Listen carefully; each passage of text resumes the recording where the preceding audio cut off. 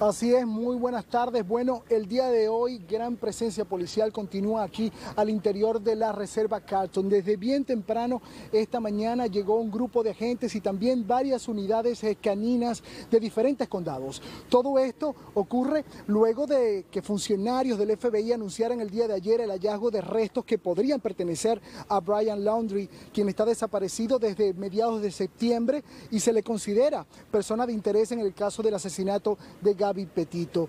Las autoridades dijeron que los restos hallados estaban cerca de una mochila y un cuaderno que serían pertenencias de Laudry. Los restos no han sido aún identificados. El lugar donde fue el hallazgo estaba originalmente inundado y por ello quizás las primeras investigaciones hechas en este lugar pues no fueron divisadas por los equipos. Un médico forense fue llamado a la escena el día de ayer, así como perros especializados en la detección de restos humanos. Hoy continúa el despliegue de funcionarios policiales al interior de la reserva. Hasta el momento no ha sido informado sobre eh, alguna actualización por parte de las autoridades sobre las investigaciones que se realizan luego del hallazgo de pertenencias de Laudry y de los restos humanos.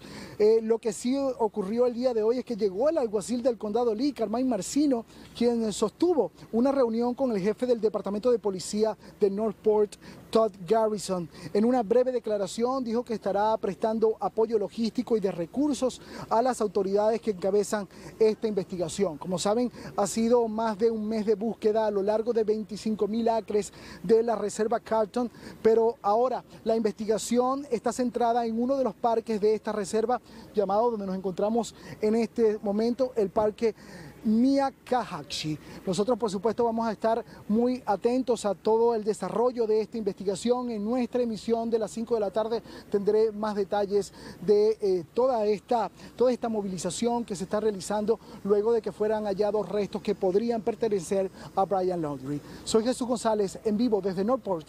Regreso con ustedes.